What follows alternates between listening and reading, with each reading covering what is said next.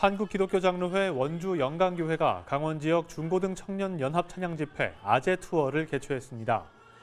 아재 투어는 아브라함 재단 쌓기 예배의 줄임말로 이번 예배엔 비보인과 힙합으로 찬양하는 멘토 선교단이 다양한 공연들을 선보였습니다.